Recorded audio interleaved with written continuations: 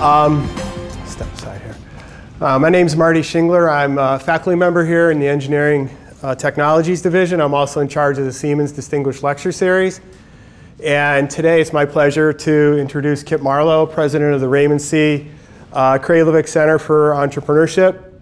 Kip's a serial entrepreneur, as he likes to call himself. And he'll talk about some of his uh, adventures and talk about the center. I'd also like to have a few acknowledgments.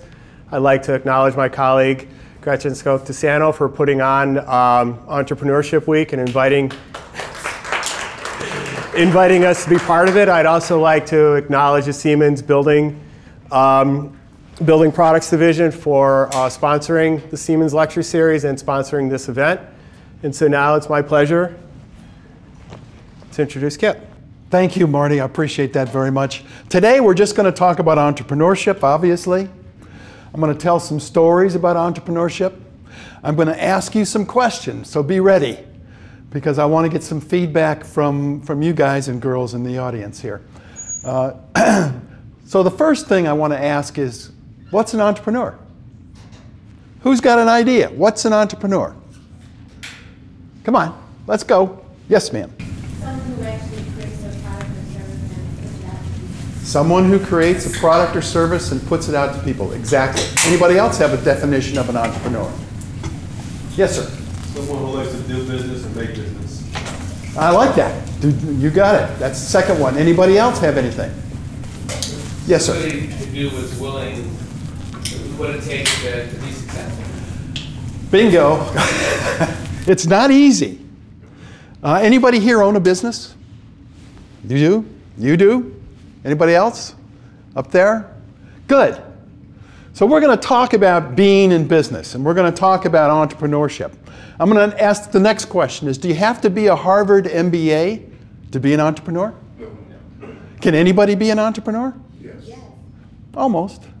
Almost anybody. Absolutely. I want to tell you a story about a fellow that went to this school. His name is Keith Kokel.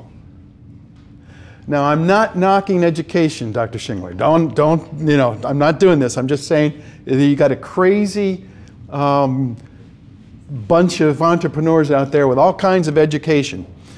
But his name is Keith Kokel, and he started a company called Micro Labs. But I always look at the stories behind the person. Why did he start it?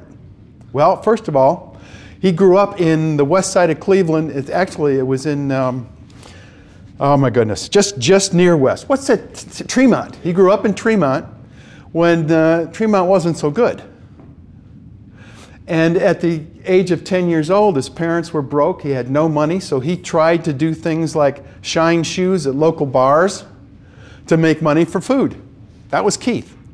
Several times he'd have a good load of, uh, of, um, of uh, change in his pocket, and he would get, walk home and he'd get robbed. That's Keith. Before he, he got to the 10th grade, Keith was shot twice and stabbed once. But that didn't stop him. And he, he went to school here. I don't know if he graduated. I, took, I know he took a lot of courses here, and he learned business, and he started his own company called Micro Laboratories and uh, in Mentor, just off of Tyler, if I remember correctly. And that's, that's, a, that's so not a, not typical, but almost typical of people who start companies. Anybody know the name Sergey Brin? Who's Sergey Brin? Um, you to be too fast. PayPal or Google? Google. He co-founded Google with Larry Page. Do you know what his background is? His parents and he lived in Moscow. Jewish family. They were terribly discriminated against because they were Jewish. So his father wanted to get out and go to, the, go to America, where everybody was pretty free. And so he applied for a visa or whatever you apply for to get out of the, get out of the country. And he was, uh, he had to take menial jobs. He had his PhD, by the way. He had to take menial jobs to get going and, get, and, and just wait for the approval, which took one year to leave the country. and they had to take care of Sergey. Well, Sergey came over, got pretty well educated, and started Google. Not a bad story. Did he have a Harvard MBA? Nah. He did end up going to Stanford, but he didn't have any college when he started Google. And that's not too shabby. I went to Bowling Green State University. And you know why I started my company?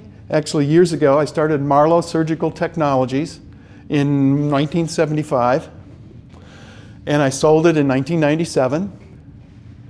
Um, the way I started it is because I got fired. I got fired from my job as a corporate guy, and I hated corporate work. So what can you do? I didn't like to go. I didn't want to go back to, to corporate work. So I decided I'm going to start my own business. So I got into the surgical instrument business. And the reason I, the way I got into it was I just befriended some doctors, and the doctors and I decided to invent products together. And we had them made.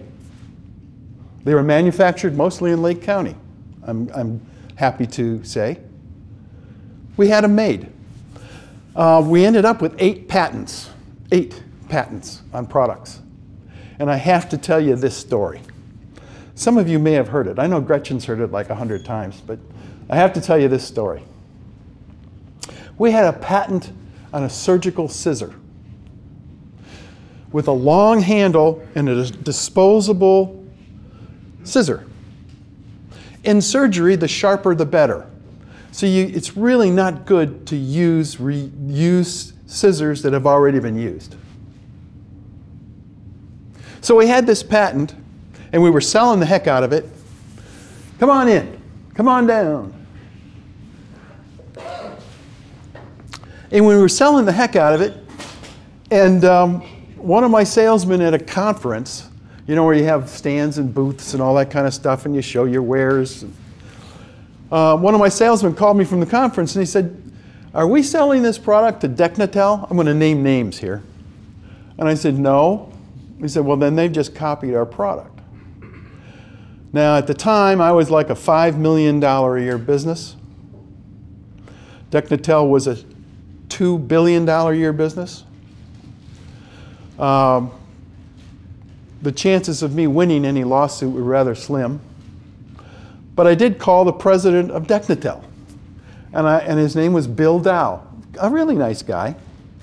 And I called him, I said, Mr. Dow, you know, you copied our product, we have a patent on that. And he said, basically, I don't care, kid, sue me. That was fun. That was a good day. Everything was going well until that call. So um, I went to my finance department, which was one person, and I said, We've got to sue these people. The patents aren't any good if you don't want to protect them. And he said, well, find out where, you know, find out how much it's going to cost. So I talked to the attorney, and he said about 100,000 over a period of probably a couple of years. Well, I didn't have 100,000. I didn't even have a 1,000. Um, so I went to the attorney and I said, I got entrepreneurial here. And I said, if I paid you a couple thousand a month, would you take this case? and then you can after i'm gone you can collect it from my children and my wife and you know all that kind of stuff. Would you take this case? And i couldn't believe what he said. He said sure. So we sued him in federal court in cleveland ohio and we sat there me and my attorney waiting for the first hearing i think they call it depositions you know where you take depositions so me and my attorney, who's a great guy, his name is Ted Lenish. I don't know if he's still around. He's probably retired, which is what I should be, but I'm not. Um, so Ted, it was Ted and I, and we were waiting for these, the other attorneys to come in, and in walks five attorneys, all wearing black suits, red ties, all with Yale University horn rimmed glasses all with Yale haircuts. Anybody here going to end up at Yale? I hope not. Okay. Sorry, Gretchen. um, And they walked in, and I was, I was just flabbergasted because they, that, they came from the most intellectual, intellectual property, the most influential intellectual property firm on the East Coast. They flew in from Boston. So I turned to Ted, my attorney, and I said, Hmm, I think we're toast, Ted. Why don't we just drop this thing? I, there's no way we're going to win this. I love it when he does that. Yeah. So I'm telling this story because I didn't give up. um, so Ted turned to me after I said that. I said, We're toast, Ted. And he said, Don't, you know, just they're only trying to intimidate you. And I said, Well, they're doing a hell of a good job at it, I'll tell you that. I'm scared to death. So that deposition was over. Six weeks later, I get a call from Mr. Bill Dow, the president of Deknatel. And he calls me and he says, Hey, Kip, how you doing? When he said Kip, I knew I had him. Because he always me, called me Mr. Marlow before. He said, You know, this is so typical. He says, You know, neither one of us should be spending a lot of money on this lawsuit. Can we settle this thing? It's just kind of getting in the way. And I said, sure. And I gave him my terms. And he accepted them. And I should have given him higher terms, but I probably would have been better, but I, I didn't. I wasn't a great negotiator. So anyway, uh, we, we ended up like 60 days later getting the check for $257,000 and an 8% royalty on every little scissor they sold for the life of the patent. They still could, they still could sell it, but I didn't have to work for that 8% because they're the ones that had to work for it. That was a major victory. Yes. I, because if I hadn't have tried to defend that patent, my company would have been gone. You can't go up against a $2 billion company and survive. It's just not, not in the medical device field. That is one lesson I learned. However, the biggest lesson I learned was this. Anybody have any friends here? Anybody have any friends that they talk to? Huh? We all do. Are they all, do they all support you? If they don't support you, get rid of them. Okay? I had a little advisory board that I called my kitchen cabinet. And it was several local entrepreneurs who were very, very um, experienced at business. and one of them was a doctor at Hillcrest Hospital right down the road here. His name is Stanley Pollock. I just saw him two weeks ago. Great guy, retired, playing golf every day in Florida. He was the head of the OBGYN department at Hillcrest. He delivered my kid. Oh, geez, okay, all right. 42 years ago. Okay, 42. You're not that old, are you? Um, uh, and Stanley was a great guy, and he knew me well, and every couple of weeks we'd have lunch, uh, talk about new products, ideas, and all that kind of stuff. And one day he came into the office and he said, You don't look so good. And I said, Well, I don't feel so good. I got myself into a jam I owed creditors, rent, payroll to the tune of $100,000 that I had to pay within a week and a half. And I didn't have it.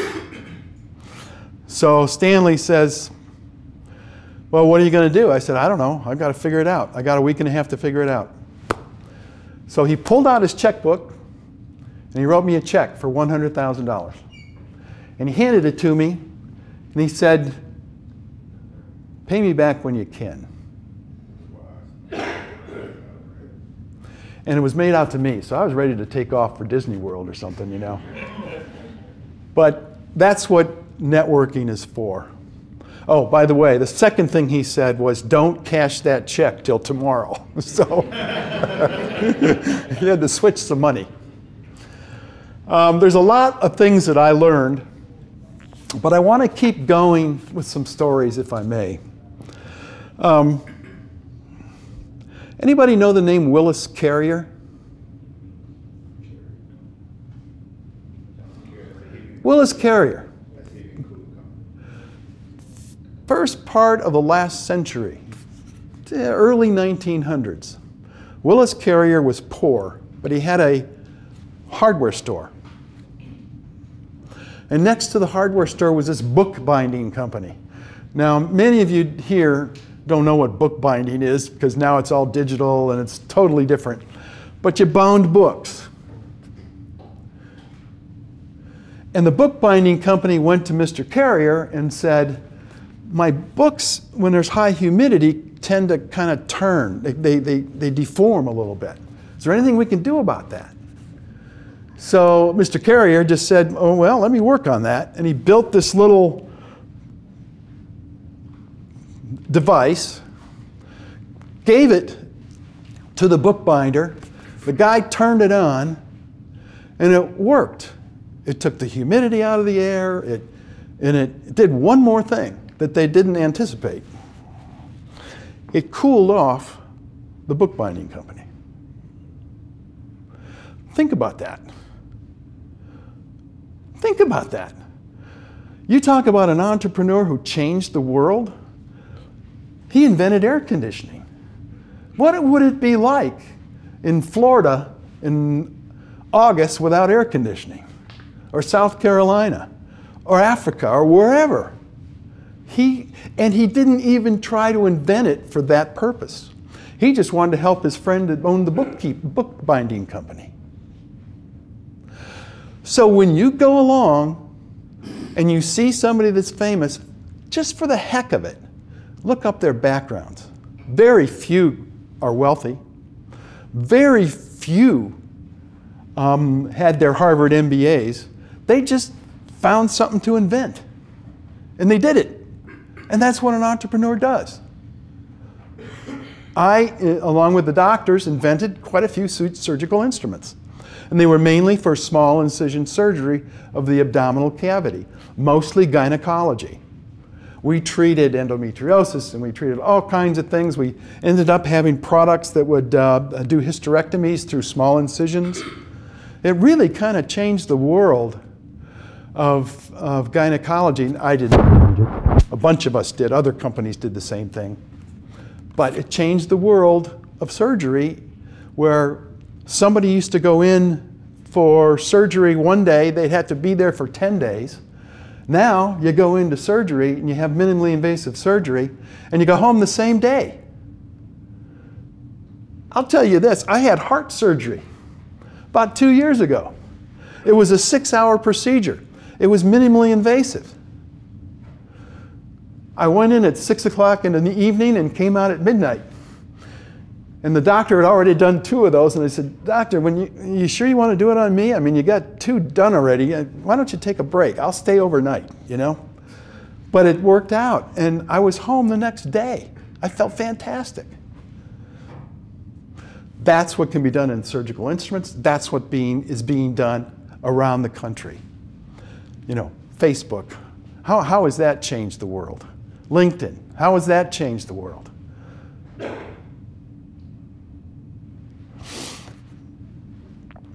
And I do want to tell you about, and I'll have a lot of other things to say.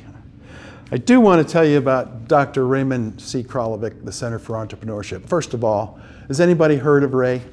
Anybody heard of him? Ray was a friend of mine. He passed away two and a half years ago. Um, he grew up in West Virginia, so one leg is shorter than the other, you know, because he's always on. Never mind.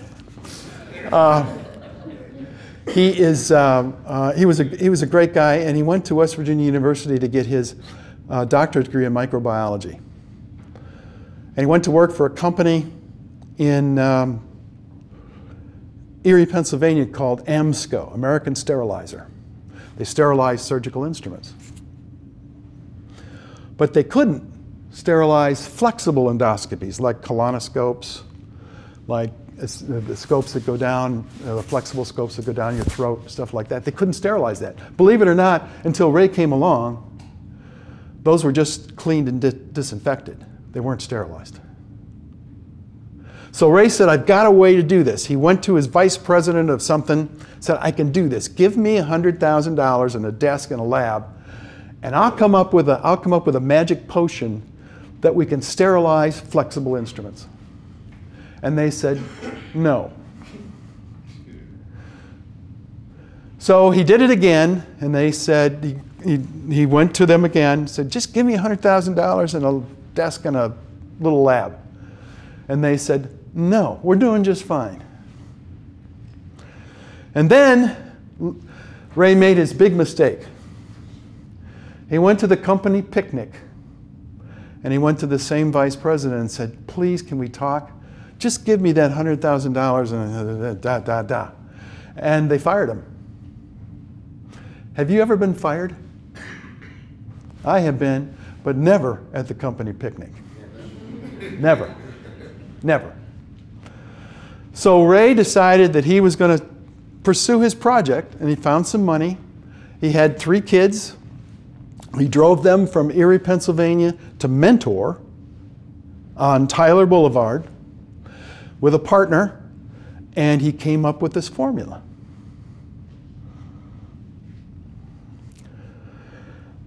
Anybody heard of the company called Steris? $3 billion later in revenues, 5,000 employees worldwide. That's what Ray created.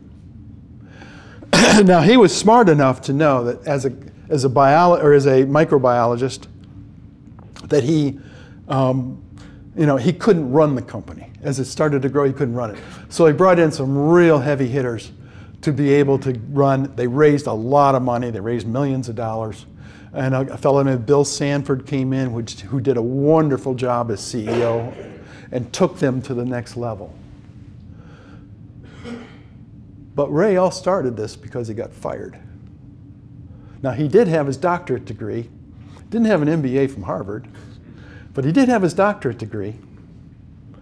But the impetus for him to do this was getting fired. My company ended up to be about an $8 million a year company, not a big deal compared to Steris. Um, but I got fired. And so many people out there that are laid off, I see it at the Entrepreneurship Center. So many people that have been laid off or retired early are coming to us with product ideas. And here's what the center does we are a nonprofit. And I have cards here if anybody has any ideas for products and we're free. We're all volunteers. We're crazy, uh, recovering entrepreneurs who, who just want to help because it's, uh, it's part of our mantra to give back as much as we can. So I'm the president of it. We have 10 mentors. We have 63 uh, people who've signed up for the program. Uh, 45 or so are intimately involved with being, uh, with being counseled and mentored. And we're to the point where we've brought in people who can talk about intellectual property. Can my product be patented? We got somebody to bring in. Where do I go? If it can be patented, where do I go? We've got the people to go to. Um, if you want to design your product, whether you can patent it or not, we've got a design firm called Balance in Cleveland. They charge. Uh, but it's a great firm, and it really is something you should look at if you have a good product or a good product idea. Please look at Balance because they have made, they have designed products for so many companies from Hoover uh, to Moen to, uh, uh, they're doing projects for Steris right now. You know, you got 5,000 employees at Steris, and they can't even design their own products. so, so they go to Balance and they pay a, they pay a lot of money since they're a big company. so that's the story of Ray. How my time? Wow. Okay, I'll keep going. Um, everybody hear of Kevin Plank? You've heard of Kevin Plank, haven't you? I'm not going to call on you just yet. Kevin Plank was a walk-on football player at the University of Maryland. Anybody here play football in school, high school? Do you remember those two a day workouts in the summer in August that you, we all hated? Remember that? And it was just, oh, and your, the, your undershirt, you went in the locker after the first practice and your undershirt was just filthy and you had to put it back on later because you weren't smart enough to go to mom and, you know, get a second undershirt, you know, stuff like that. Um, and it clung to you. Well, Kevin noticed that when he was a walk on on the football team. He was a terrible football player, by the way. Uh, he noticed that. So I love these backgrounds. So he decided, you know, there's a problem. And by the way, entrepreneurs do three things they find a problem, they solve the problem, and then they tell the world about it. Three things. It's easy. But what Kevin did was he went to, went to the garment district in New York City from Baltimore. Um, he found some, some uh, material, bought a bunch of it, took it back to his, his grandmother's basement, and sewed it all himself, put it in the back of his car, in the trunk of his car, and he went from school to school to school selling these products. And he did pretty well at it. That's the way he started. What's the name of the company now? Under Armour. $3 billion a year, 5,000 employees. Kevin Plank is worth $1 billion. Started with nothing. Started in his grandmother's basement. Now, by golly, if I can be relatively successful, and Kevin Plank can be wildly successful, and Ray Kralovic can be wildly successful, everybody in this room could be successful. You're not, we're not any smarter than you are. We just found a problem, solved the problem, and told the world. Understand? Get the point? I don't care whether you graduate from high school. I wrote a book called The Entrepreneur's Success and Sacrifice. Some of the people in the book had no high school. None. Very successful. There's a fellow down the street here, Roger Sustar, did graduate from high school. Roger is on the board now of Lakeland. Isn't he on the board, Gretchen? Yeah, he's on the board of Lakeland. He did graduate from high school, no college, and just self taught. And one of the things that I've learned in life as an entrepreneur is this what you learn after you know it all that counts. So believe me, get good grades here, do well here, study hard here, learn a lot here, but keep learning. Keep learning. There's some great business books out there. Uh, you've got good to great. You've got so many good business books out there, and some of them are, are, have been on the Wall Street Journal bestseller list for years. They're so popular. And they're, so, they're not dated in any way the same fundamentals apply today as 10 years ago. Does that make sense? You guys agree with that? I got another person here that's one of my favorite people. I used to have a radio show. And I interviewed entrepreneurs locally and throughout the country. And I interviewed a lady by the name of Judy Shepard Missett. Does that name sound familiar to any of the ladies here? You're, you're going like this, aren't you? She grew up on a farm in Minnesota, had no money, started a little uh, gym for, for ladies in somewhere in a suburb of, of Minnesota. Realized that the ladies don't want to do push-ups and sit-ups and you know stretching exercises all day, so she added music to it, added pizzazz to it. And then she decided that's the way it's going to be and I'm going to franchise these all over the world. Well, Judy Shepard Missett has franchised now 7,000 franchises all over the world called Jazzercise. Very successful. Has 300 employees in Southern California. Very successful. Started on a farm. Started with a little, with no money and a little storefront and figured it out. It works that way. And by the way, getting back, I'm going back and forth a little bit too much, I suppose, but getting back to the Raymond C. Kralovic Center for Entrepreneurship, I've got cards up here, but if you can remember this, the domain name is lakestart.org. Go to it and take a look at it. If you have a product idea, just submit an application. We'll get it that day, and we'll give you a call, and we, will meet. And we have an office in Willoughby at the Willoughby City Hall. um, believe it or not. We have no money. We, we, we raised about $12,000, and you got to pay insurance and, and all that kind of stuff, a website, things like that.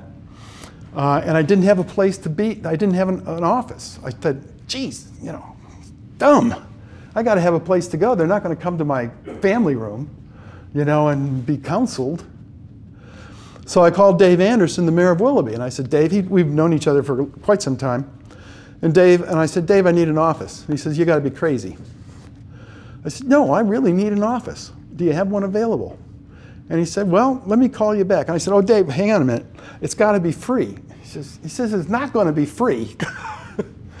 so, Dave, the secret to Dave's success is he calls you back right away.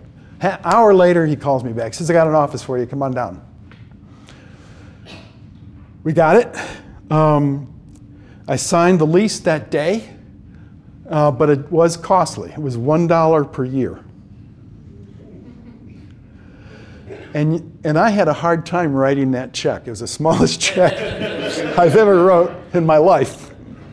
I wish I had a lot of those $1 checks, but that was the smallest one I've ever wrote, written. Um, but there's also a story behind that office.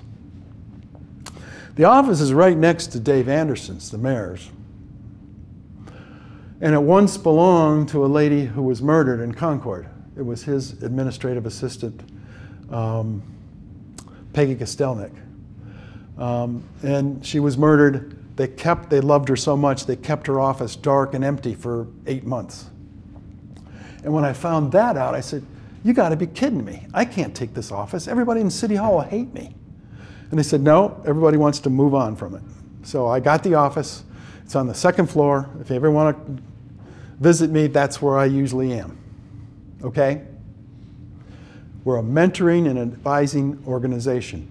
Think intellectual property, think raising money, because we do, we can get you to people who could raise money to start a company. Um, excuse me. Think about product design. Think of, there's so many things to think about, but we have the availability of getting you to the right people.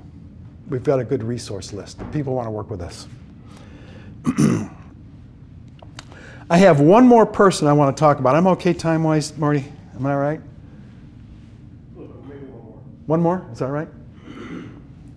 Anybody want to hear a Cleveland entrepreneur named Francis Drury? Nobody knows him? Francis Drury had a hardware store, just, just like the other guy. And um, he decided he was going to make a kerosene, this is at the first, you know, early 1900s again. He was going to make a kerosene heater. Instead of bringing the wood in from outside and cutting it and chopping it, he's going to have a kerosene heater. So he made the kerosene heater. And uh, who at the time do you think sold a lot of kerosene? Rockefeller. Rockefeller found out about this thing. He says, the greatest thing in the world. I'll help you sell them. And the more you sell, the more kerosene I'm going to sell. And not only did Rockefeller say that, he did it, and he even gave um, Mr. Drury um, the names of all his contacts. So Mr. Drury just write saying, saying, hey, you know, we got this thing. It's cost three dollars, and um, you don't have to bring your wood in anymore. You know, you use this to heat your house, and it worked. He didn't know it, but he changed the world. Now, it's a pretty standard thing. Now we, we don't use kerosene, but you use gas or electricity for your furnace. They changed the world. Didn't have any money, had no education, ended up partnering from, with John D. Rockefeller. Can you believe that? I would have loved to partner with John D. Rockefeller. That'd have been pretty cool. But he did that. So I got to wrap it up because uh, Dr. Shingler is giving me the high sign over here. Uh, well, I think what we want to do is if there's any questions, we can do a roundtable discussion. We can do whatever you want to do. It's up to the class and Dr. Shingler. Thank you so much for listening to me today. Appreciate it.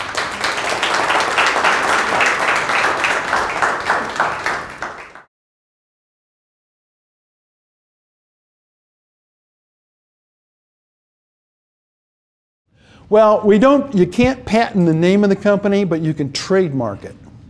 And you trademark it through the state of Ohio or go right down the hallway here to the Small Business Development Center and they'll help you do it free. You can go to an attorney, but it costs you. Um, you, you know, you, so what you do is you just trademark it. You have to send the federal government some money. It's like 150 bucks. But I'd highly recommend you register uh, the name of your company. It's a really good idea. And regarding patents, um, you know, if you've got an idea and you think it's, and you think it's patentable, uh, give us a call because we have Dr. Nayan Shaw. Dr. Shaw is um, uh, MD, PhD, MBA, something else. He's got all kinds of letters behind his name. And, uh, and Nayan is a great guy, and he'll be able to tell almost immediately whether it's a patentable type product. Uh, for example, we had a person come in to Lakestart. I counseled him. He had a great idea for a product, and I can tell you the product now because it's out on the market, and it wasn't his. It was a product, he was, he was, um, he was watching his kids play soccer, watching his kids go back, and he was using his iPhone to video it. And he said, Boy, it would be nice if I just had a camera in my glasses. Or I can just do this, and for 15 seconds, I could do this. And I would take a video. With your neck, it's a fulcrum. You know, when you, got, when you have your iPhone, it kind of bounces around. Well, he came to us and he wanted to patent it, and we thought it would be a good idea until we really looked into it. And there were a ton of patents around that product, and they were all Silicon Valley patents. So we decided to say, uh, you know, Jason, do what you want to do, but we would highly re recommend you be careful because these people do not take prisoners. If they come after you, they're going to come after big, and you're going to lose your house and your wife and your car and your kids, your driveway, and your probably your sewer system. So you know, so be careful. And he decided against it. He decided not to do it. So you got to be very careful. If it's a high-tech product, you got to do a lot of research. But if it's a product like my scissor uh, that was patented, um, uh, you can work around other patents. And having a patent will last you 19 years. And that is from the time that you apply for the patent with the federal government until the end of the patent. So if it takes two years to get the patent, you only have 17 years left. But that really gives you a monopoly on that product for 17 years. So it's very important if you have a patentable product, go after it. Just go after it. Get that thing patented. Borrow the money. Do whatever you, whatever you can, but get it patented. It really can help you greatly if you're willing to defend it. If you've got some big players in the marketplace that, um, that can come down on you hard, be very careful.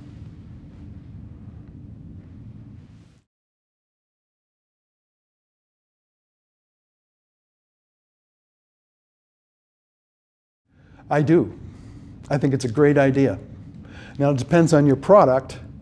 For example, crowdsourcing usually is where you're making a widget and you're pre selling that widget at a deep discount.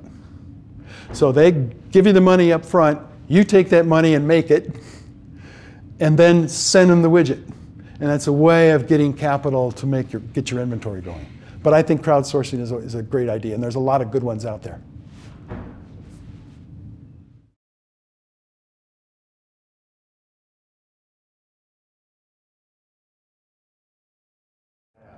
We usually, uh, good question by the way, we usually send people to the SBDC here. Thank you.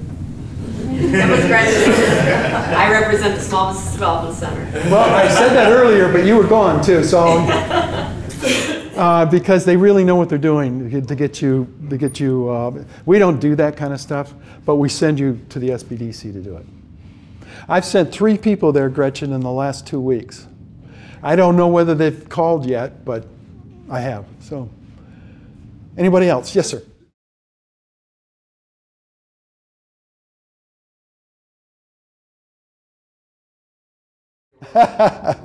no, what I mean by that is entrepreneurship is great and it, and it builds value for your employees and for your family. Um, but there is a sacrifice that you make. I mean, you're, you, you're going to think about it. You're going to think about your business at three o'clock in the morning while you're sleeping. You're going to, you know, it's going to constantly be on your mind. And after a while, that kind of drains your emotional energy. And there are many times when I'm sitting in my office at one o'clock in the afternoon in my other life, and I'm, I'm, I'm holding onto the desk saying, It's been a great day. What's going to happen this afternoon? Um, so you never know what Scud missile is going to come in. For example, and I'll make a quick example of this. Uh, one day was that great day, and at one o'clock in the afternoon, I got a fax from France. One of our scissors was blamed for killing a patient in Paris. Now, that has never happened. Um, it ended up not to be the case. But for several weeks, I'm going, you got to be kidding me. you know what I mean? And though that's the emotional drain that you have when you start a business. You're going to have issues flooding you at all times. You're going to have things happen that will come right out of the blue. In fact, most of the things that happen do come right out of the blue that aren't anticipated. But you just have to have the personality and the style to roll with it and not let it get you down.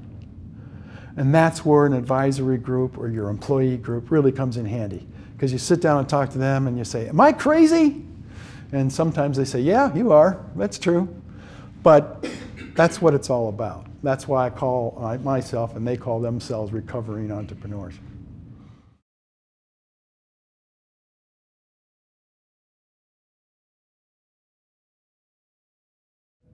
Uh, actually, not at the center. We're strictly a mentoring group. But I'm glad you brought that up because every second Tuesday of the month, from 5 to 7 p.m., at the Willoughby Brewing Company, we have a what we call a STS meeting. I won't tell you what STS means. Actually, I will. It, says, it means shoot the shit. That's what it means. now, we also call it a Shark Tank because there are people in there that have funded other companies within it. But what we do is we have a speaker that's on for 20 minutes in the beginning, and then people like you guys come up and say, Hey, I've got this product idea. I can't tell you everything about it, but what do you guys think? And it's fantastic. It's absolutely fantastic. It's been going on. It was Dr. Kralovic, Ray Kralovic's idea, not mine. But we put it on, we schedule it, we send out the, the uh, uh, announcements for it.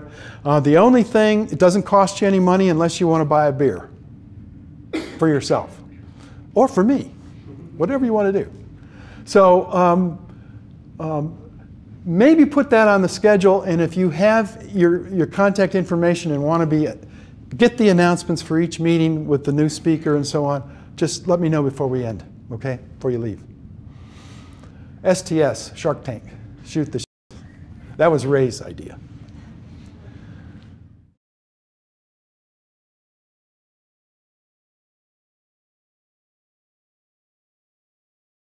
We have several people from Cuyahoga County. Um, believe it or not, I, I spoke at the Willoughby South Entrepreneurship Center um, several months ago. And this, the entrepreneurs, entrepreneurs students are, are actually, they just can't sign up for the course. They have to be interviewed. You know, how serious are you about this? And we got a lot of, we had one student from South. That was it. We had a couple students from Mentor. The rest of them were for Brush High School. And I thought, this is fantastic. So I gave the, I gave the speech, and I, three of those people from Brush submitted applications. They have good ideas. So you just never know. So in our entrepreneurship center, the youngest age is 17, the oldest is 74. So we run the gamut. And by the way, for all of the ladies in the room, 48% of the people who have signed up with us are women, which is close to the 51 or 50% we need. Anybody else?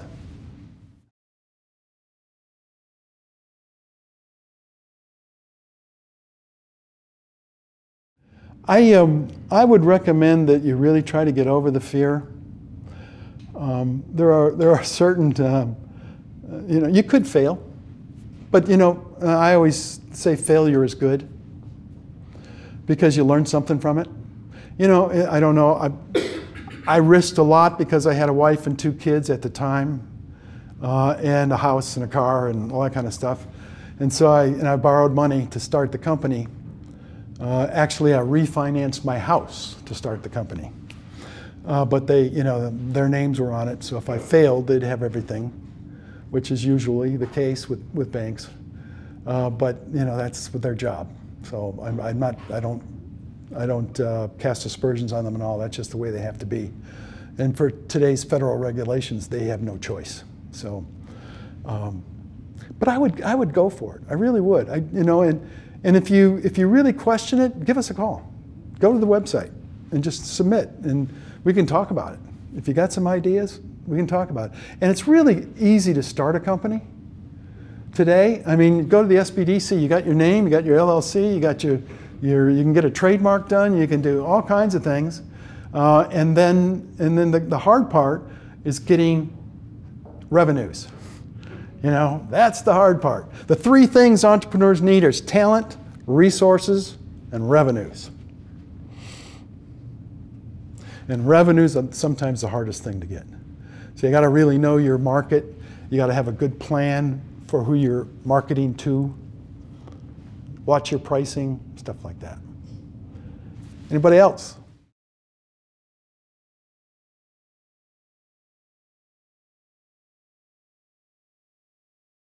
Oh boy, I'd have found a way. I might have not have gotten 100K, but I found a way. I'd have gone to the employees and say, hey, this is the situation. And they were always pretty good about it. Uh, maybe postpone salaries or something like that for a while. Um, I think one thing I did do is when I got in trouble like that, I didn't take a salary. I didn't take anything out of the company. And, and you're, you know, every, almost every entrepreneur goes through that. And you, yes, ma'am.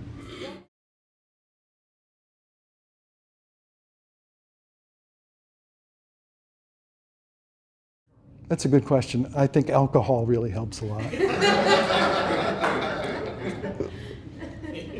good California Chardonnay helps a lot. Um, you just have to be around good people. That's your strength. With me, I'm, I'm in my element. I'm around great people. I love doing this. I don't know if you can tell. I love doing this. I love to, to talk about stories about entrepreneurship. I love this is, I don't know if I'm teaching it, but at least you understand where a lot of these people come from. But be around good people and they, they'll build you up. Make sense? Okay. Anybody else? Thank you so much for listening to me. Appreciate it very much. Hope the food was good. To you.